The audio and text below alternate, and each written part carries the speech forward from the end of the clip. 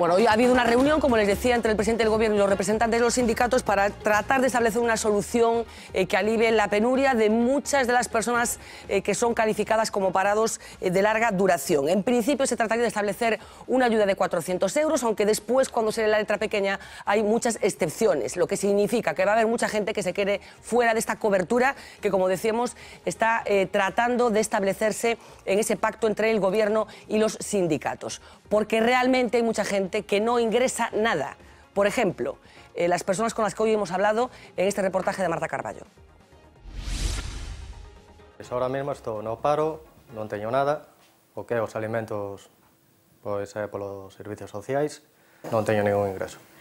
Es la situación de Manuel desde que hace tres años perdió su trabajo de camarero. Sin recursos solicitó la risga, un máximo de 400 euros. Esperó seis meses la respuesta. Que no, porque ao vivir na casa dun familiar porque non tiña dereito a ela. O me axuda un familiar con que me dá deixa cartos así de, para cargar o móvel e eso, que con esa cuantía de cartos que eran, que, que eran 50 euros ao mes, que podía vivir.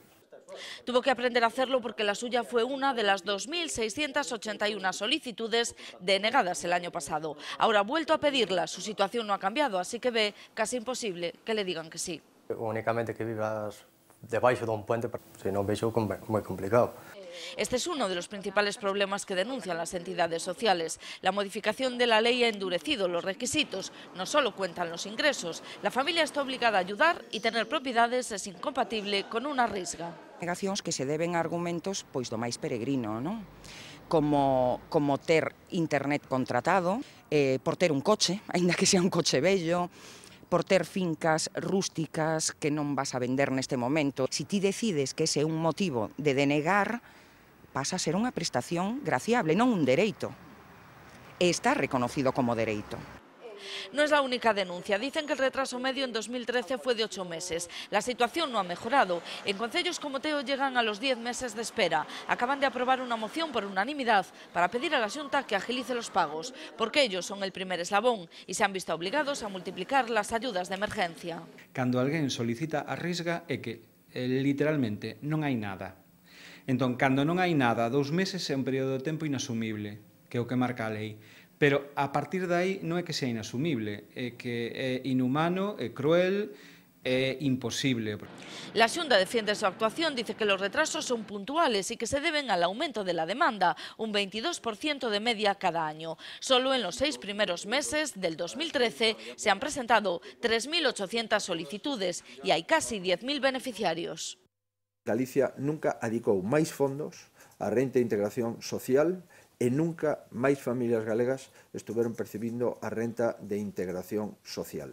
Este año se han destinado 42 millones para la risga, el doble que en 2009. Para el próximo año la partida aumenta a los 47,7 millones. Bueno, cifras, cifras, saben que siempre queremos ponerle eh, cara a las cifras. Escuchamos ese testimonio de Carlos que nos contó más cosas como estas. Pois ahora mesmo estou no paro, non teño nada, o que os alimentos pois é polos servicios sociais, non teño ningún ingreso. O meu transporte te, leva tres anos no taller que non teño nin carto para arreglalo.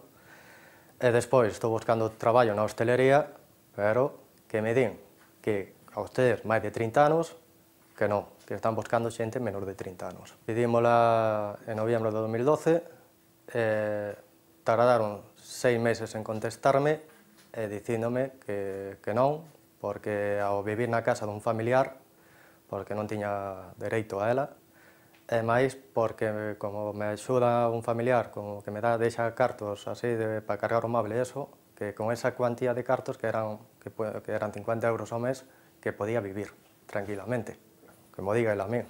Porque se hai un político que di que con 5.000 euros non, a, non chega a fin de mes, con 50 euros ainda menos. Eso é é real. É real. Ese, é que esa persona debe estar vivindo nun mundo de fantasía. Creo eu. Ou lle dan a él, a él lle dan a esa persona, lle dan todo regalado, ou senón non sabe do que é, como vai a vida.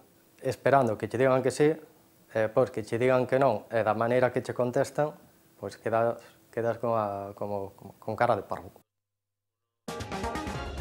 Bueno, este es el testimonio de Carlos eh, que tiene mucho de simbólico porque podíamos reproducir historias muy parecidas por toda Galicia. La denuncia es clara y muy eh, evidente por parte de los trabajadores sociales y por parte también de los ayuntamientos que eh, tienen que cubrir bueno, pues las tardanzas en la gestión de esta renta que escuchamos al presidente de la Junta tiene un presupuesto que va creciendo pero que a la vista está no llega. Lo cierto es que la burocracia se complica cada vez más y que los plazos para poder empezar a cobrar esa renta eh, se dilatan cada día un poquito más. Eh, Manuel, yo no sé si es una situación eh, insostenible o en qué momento estamos con respecto a la risga.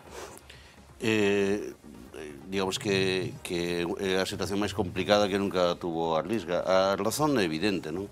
Eh, Cada vez hai máis eh, persoas eh, que teñen eh, dereito a un dereito susetivo, que, que a risga é un dereito das persoas, se cumplen os requisitos, teñen dereito a ter esa esa renda. Non? Pero cada vez se interpretan máis, claro, se interpreta máis. No, no, entón, que fai a, a, a Xunta de Galicia? ¿no? Pois é certo que sube un par de millóns de euros a, a dotación orzamentaria, pero o que fai fundamentalmente é retrasar ad infinitum, ad eternum, eh, a, ao recoñecemento desas demandas. Iso fai a través de múltiples mecanismos, non? Dende petición de, de informacións que se ateñen, que son redundantes, de aplazando eh, resolucións, etc. Non? Pero iso que entón, é fruto dunha instrucción política? Directamente, sí, sí, directamente. Directamente, eh, vamos a ver, hai un informe que está presentado dos eh, técnicos do Consorcio das Mariñas na, na contorna de Coruña que falan de que en xun, xulio deste ano non estaba recoñecida ningunha solicitude de Risga do ano 2013, ningunha, en no que son os Concellos das Mariñas. De feito, o presidente do Concello das Mariñas, é público, enviou unha carta á Consellería plantexando eso. Non é un problema de retraso, porque se ti tes un problema de retraso, de que non, de, perdón, de retraso porque hai moita tarefa, se ti tes ese problema, pues contrata máis persoas para que fagan o, o, o traballo. Esa é a decisión do goberno, de que non quere ampliar o presuposto nas cantidades que se precisan na situación de emerxencia na que estamos tendo, porque é certo que, que o orzamento subiu, pero aínda son só, só 47 millóns de euros para eh, eh, eh, atender, digamos, as situacións de pobreza extrema. Mm. Estamos falando de persoas que non teñen eh, recursos para, para, para comer, para vivir, para sobrevivir, ¿no? Nese sentido, eh, o, o orzamento da Xunta é cutre, porque posiblemente tiña que ser o doble eh, desos 47 millóns de euros. E poñer eh, medios materiais eh, humanos para que a, o reconhecimento das risgas fora inmediato. ¿no? A ver, eh, Gonzalo, es que vamos a ver eh, enseguida un, un experimento que hacíamos eh, hace nada, esta semana yo pasada en Vigo. a ver, que yo quería situar un poco la noticia de lo que es la negociación y que se está planteando. Todavía no sabe la información que estaba. Yo incluso le preguntaba a Manuel alguna información, porque bueno, tenemos la información que ha salido en los últimos días del borrador de la negociación, pero Sí. no han sido capaces los agentes sociales y el gobierno todavía de perfilar las condiciones exactas. Esto suena, en todo caso, a algo que ya se había hecho en la etapa del gobierno Zapatero, con una cuantía además eh, similar para buscar en Sí, en aquellos estaba de lugares seis meses sin posibilidad de prórroga. una bueno, serie de es cuestiones una- que se sí. está hablando de dar 400 o 300 Sí. euros. Eh, según los datos, 26. Sí, yo, Ah, ahora bueno, ahora lo que he leído ahora es que hay una, hay una, bueno, hay dos escenarios eh, en función del número Sí. de miembros de la familia, Sí, una de sí, bueno, que al 390 y final tanto, la- los perceptores 400 serían euros. 300.000 Es decir, parados. Esa es un poco la idea. La idea es que hay 700 y pico mil hogares que no tienen ningún tipo de ingreso Y esto que con una serie de condiciones 300.000 habría personas. 300.000 que de aquí, a, de aquí a fin de año podrían incorporarse pues 300.000. Yo creo que esto tiene, al margen de la medida, yo creo que tiene algunas lecturas. En primer lugar, es una medida que tiene un claro componente electoral. Es decir, esto no se ha aprobado antes, a pesar de que ya hay muchas familias que llevan esta situación igual y se toca ahora, que va a aprobar para seis meses justamente cuando llega el periodo electoral de municipales y generales. Dicho esto, al margen de la oportunidad política o el oportunismo político del gobierno, yo creo que este tipo de medidas sociales, aun cuando puedan tener ciertos efectos eh, de falta de eficiencia en el mercado laboral o lo que se quiera, son imprescindibles y que tienen que ser prioritarias en la agenda del gobierno. Y si para que el señor Rajoy se haya dado cuenta de que este tipo de sensibilidades son imprescindibles, es necesario que haya elecciones, pues habrá que convocar elecciones cada seis meses Claro, para que puedan responder a la Déjame, demanda es que, social, es que ¿no? quiero introducir un argumento más porque Y en el fondo es una un rectificación del tipo de política económica del gobierno. Es decir, el gobierno Tiene al final está tomando una medida de carácter socialdemócrata, Os- os de pregunto- responder os un poco la situación os pregunto- de que la cosa no va tan Os bien. pregunto pero- después, pero dejadme que completemos eh, este panorama con un experimento que acabamos de hacer eh, por las calles de Vigo. Eh, parte de una declaración así de contundente realizada por el presidente del Gobierno. Teniendo en cuenta, como he dicho en esta Cámara en reiteradas ocasiones, que el gran objetivo era superar la crisis económica, crecer económicamente y crear empleo, tengo que decir que hemos superado la crisis económica, tengo que decir que estamos creciendo, ya llevamos cinco trimestres y se está creando empleo.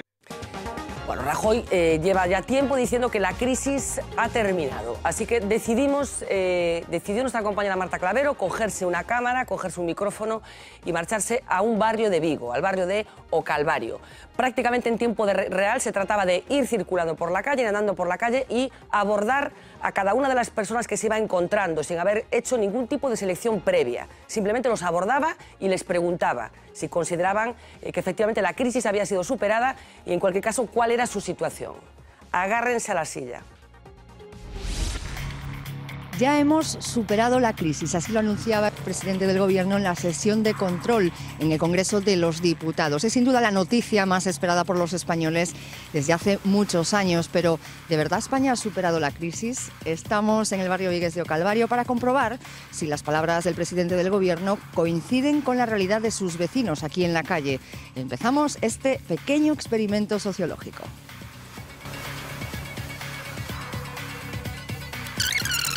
Mariano Rajoy ha anunciado que España ha salido de la crisis. ¿Tú qué opinas? Escucho, lo escucho todas las noches. No creo que salga de la crisis hasta dentro de 10 o 15 años. ¿Cuál es tu situación, José? Mi situación es enfermo desde hace muchos años, sin poder trabajar y sin ayuda ninguna del gobierno, ni de la Junta, ni de nada.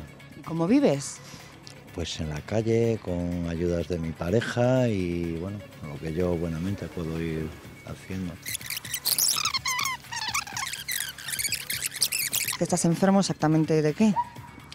Pues una enfermedad terminal, incurable, vaya, el VIH y después alguna cosa más, eh, ceguera y cosas así, vaya.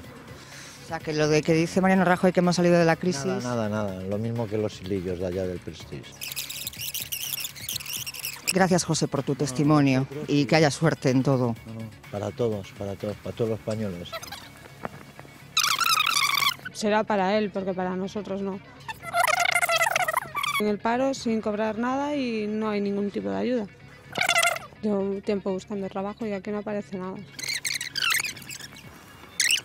España ya ha salido de la crisis. Ah, pues que me lo cuente a la cara, que yo no me lo creo. Llevo dos años sin trabajo. Soy educadora social y orientadora laboral. Muy bien, Marianito, sí. Saldrías tú de la crisis, seguro, pero yo no. Gracias que mi madre me tiene en su casa, a mí y a mi hijo, que si no estaríamos, no sé, no sé cómo. Leticia, que haya mucha suerte. Ojalá. Yo soy eh, estudiante ahora mismo en activo eh, por motivos de falta de trabajo. Está estudiando el qué y con qué edad. Yo estoy estudiando en la Escuela de Idiomas aquí en Vigo. eh, soy de Villa García, lo que pasa es que allí no hay la oferta del idioma chino. Pues no tengo ninguna ayuda. Tres años. Vivo de lo que tengo ahorrado. Para comer y vestir de momento no me va a faltar. Que haya mucha suerte, Julio. Bueno, pues a ver si me ficha V Televisión. Yo estoy cobrando una pensión ahora. Es una discapacidad que tengo. Mis padres y eso y tal, y bueno, y voy tirando con eso. ¿Cuántos años tienes? Yo tengo 33. ¿No te gustaría irte de casa? Claro, pero no puedo. La pensión no te lo permite. No llega, no llega. Bueno. ¿Cómo ves tu futuro?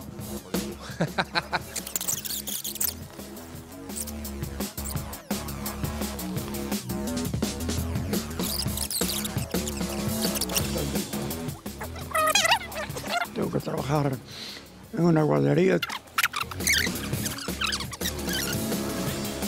Pues no me llega la pensión. Cuidadoras de barrio.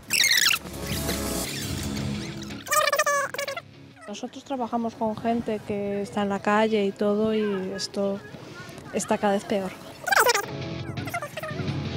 No tiene para comer. Toda la vida y ahora que se ve en un portal. La calle, bueno, ahora está parado, pero hay gente pidiendo, mendigando, de todo.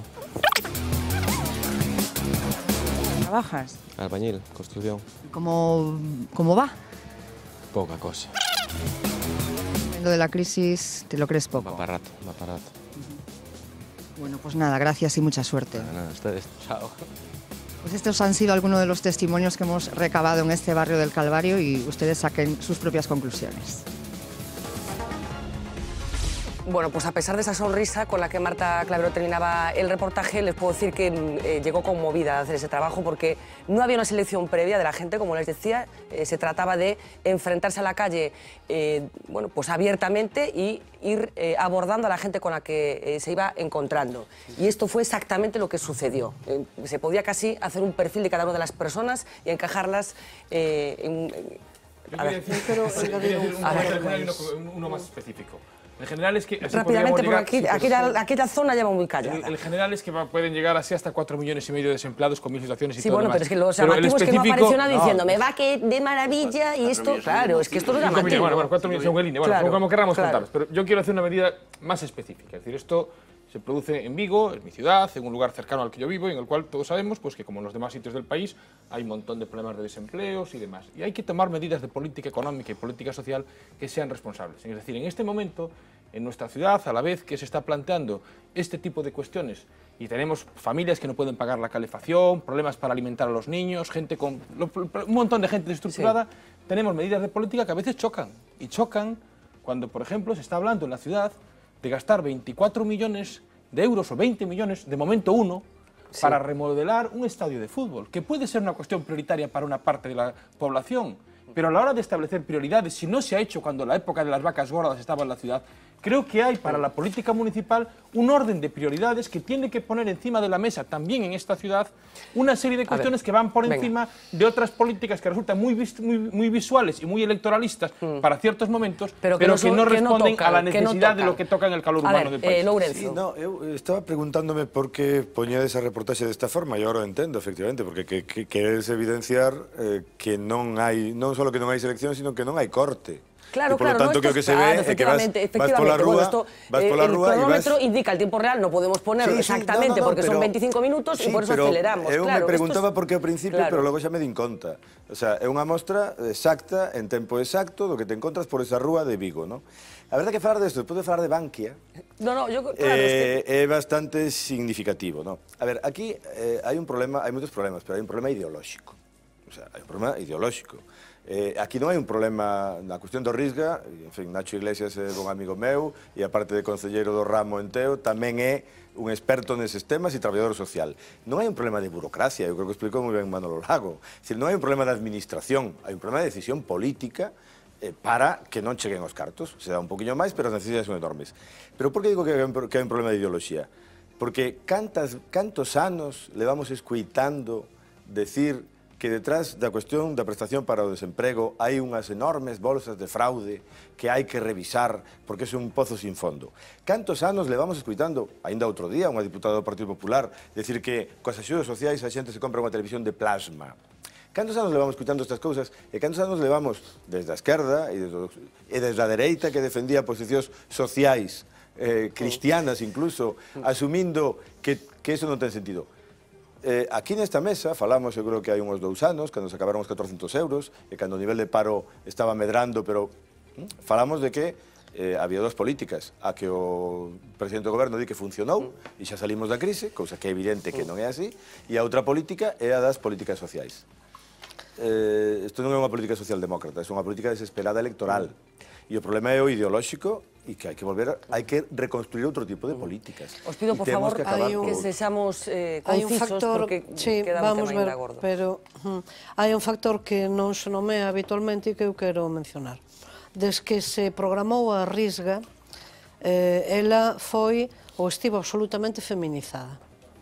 Hoxe, o escándalo é que hai moitísimos máis perceptores masculinos dos que había. A onde quero chegar. Había unha bolsa de desemprego feminino absolutamente escandalosa, non falta de traballo, é dicir, toda unha carga de traballo doméstico familiar eh, con cero eh, de retribución, e con unha dependencia económica e psicolóxica evidente, máis que actuaba naturalmente como o colchón coñecido. Mm. En canto, eh, no momento en que comeza a haber dentro do subconxunto masculino moitísima máis necesidade de percepción da, bascula, da risca, pois naturalmente entón o problema sí que se conceptúa como moito máis grave. Efectivamente, a risga eu coido que está agora sofisticada innecesariamente na eh, nos requisitos que se peden. Pero hai un factor que é fundamental e que non se nomea tampouco. Como non vai haber moitísimos máis candidatos e candidatas da risga en non habendo traballo, en non habendo claro, un, en, claro. en habendo, mellor dito, claro. un bloqueo propositado que, que de postos de traballo.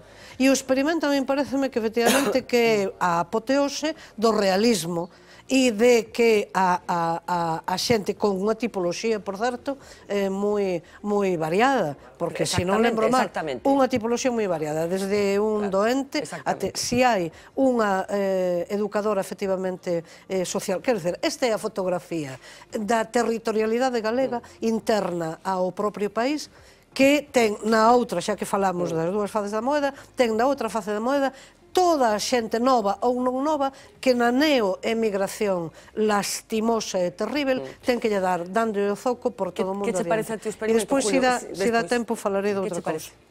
Eh, hombre, como experimento bien, ¿no? Eh, que sea representativo de lo que ocurre en un barrio, yo veo la calle muy vacía, Bueno, es a mediodía. Eh, eh, hombre, a mí me gustaría ver un sábado por la tarde, por ejemplo, ¿no? Bueno, pues te lo vamos a repetir. ¿En qué sitio en concreto quieres que Eh, pues ahí mismo, por ejemplo. Ahí mismo, ¿no? lo repetimos Sí. un sábado por la Eh, tarde. eh, y que conste que no estoy negando una realidad a nosotros absolutamente eh, sangrante. eh, hemos de decir que lo planteamos, nos sorprendió el resultado. ¿eh?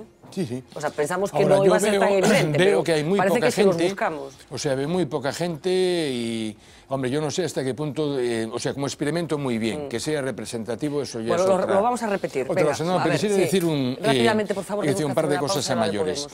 Es decir, estamos hablando de 750.000 familias, ¿eh? Eh, sobre un conjunto de prácticamente 16 millones que hay en España. ¿eh? Es un, eh, eso da un porcentaje enormemente alto. ¿eh? Eh, que es el primer dato realmente eh, importante. eh. Lo que es el segundo es que la crisis eh, se ha prolongado mucho y probablemente continúe pro- eh, prolongándose unos años más. ¿eh? Y a mí me parece que hay que dar, digamos, la bienvenida eh, a un gobierno que se ocupa de esto de una santa vez, por decirlo de alguna manera. ¿Que se ¿eh? ocupa o que se ocupe? Eh, eh, ¿Cómo?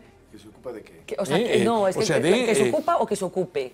O sea, ¿se está No, ocupando no, que ya el gobierno? Sí, sí, o sea, ya se, eh, eh, dice, hoy mismo ya hubo reuniones con los sindicatos para ver qué es lo que se hace con todo este asunto, ¿no? A ver, Manuel. Eh, y es más, me parece que es positivo eso. Un par de Vale. cifras. En España hai 5 millóns e medio de desempregados, cobran prestacións eh, menos de 2 millóns e medio. Por lo tanto, hai 3 millóns, 3 millóns de persoas que non teñen ingresos, porque non cobran, non teñen traballo, nin cobran prestacións.